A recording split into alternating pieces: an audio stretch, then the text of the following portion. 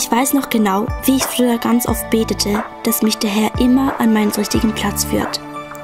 Ich hatte zehn verschiedene Traumberufe und ich war komplett überfordert, in welche Richtung ich gehen soll. Bäuerin oder doch besser Hebamme? Vielleicht auch eher Köchin oder Krankenschwester? In den Sommerferien 2017 durfte ich dann dem Herrn ganz tief begegnen und seit diesem Moment wusste ich, wo ich hingehöre. Es war die Zeit der Sommercamps im Panoramazentrum. Da kamen nämlich jede Woche für zwei bis drei Tage richtig viele Menschen in unser Familienhilfswerk und meine Verantwortung war es, auf die Kinder aufzupassen. Das waren teilweise 20 bis 30 Kinder. Ich spürte, dass ich jetzt gebraucht werde und in meiner Verantwortung blühte ich richtig auf. Ich erlebte, wie die Menschen nach diesen drei Tagen komplett verwandelt waren und wieder Freude hatten für den Alltag zu Hause. Ich erlebte auch in diesen Camps ganz besonders diese Einsheit und Schlagkraft vom Organismus. Von diesem Moment an wusste ich, dass ich so schnell als möglich hier zu Hause im Panoramazentrum als Hauswirtschafterin meine Ausbildung beginnen will. Ich wollte von ganzem Herzen die Mitarbeiter an der Basis unterstützen, damit sie sich nicht auch noch um die alltäglichen Dinge kümmern müssen, sondern Vollgas ihre so wichtigen Aufgaben bewältigen können.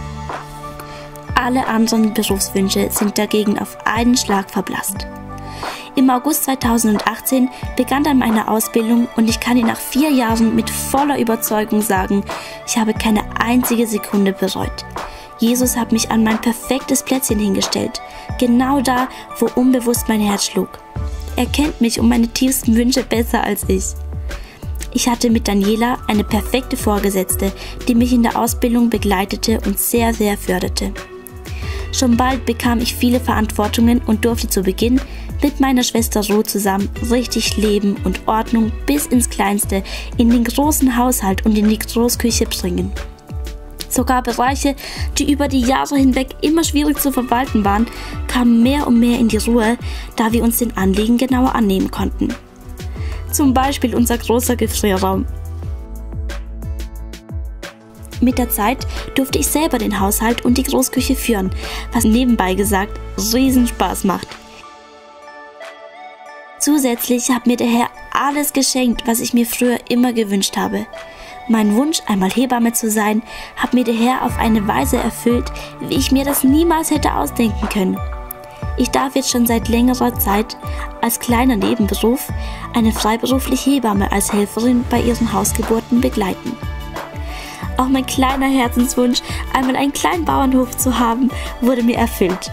Wir starteten wieder mit unserem großen, wunderschönen Garten und glückliche Hühner kamen auch noch dazu. Zusätzlich durfte ich neue Sachen erlernen und mache nun bei Gelegenheit selber Joghurt,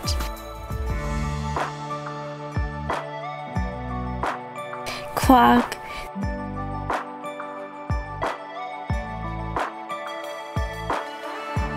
Brot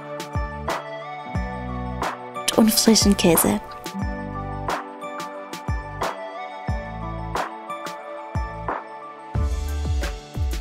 Das macht mir so Spaß. Das war für mich einfach eine wunderschöne Erfahrung zu sehen, wenn ich mit dem Frieden Gottes, der allen Verstand übersteigt, einfach mitgehe und mich leiten lasse von ihm. Dann gibt er mir zusätzlich noch alles, was ich mir im tiefsten Herzen gewünscht habe. Ich könnte noch viel, viel mehr erzählen von meiner Ausbildungszeit. Zum Beispiel, dass für mich diese vier Jahre eine Lebensschule sondergleichen waren. Ich durfte solch einen großen Schatz empfangen. So viele liebevolle, vorbildliche und überaus fähige Mitarbeiter haben mich in dieser Zeit mit viel Herz und Liebe unterwiesen und mir das göttliche Leben in der Praxis nahegebracht. Was für ein Geschenk. Ich bin einfach nur dankbar für diese Zeit. Vielleicht stehst du gerade an einer Stelle, wo du nicht mehr weißt, wie es weitergehen soll oder wofür du dich entscheiden sollst. Mein Bericht soll dich einfach ermutigen, den göttlichen Duft zu folgen, denn wir können seinen Duft erkennen und mit ihm mitgehen.